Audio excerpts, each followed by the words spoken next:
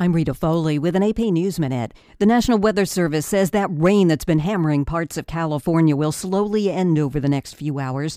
Andres Garcia had to evacuate his home in Pajaro, California, in Monterey County. We live like seven houses away from the river, and the water level says uh, like six feet high, seven probably.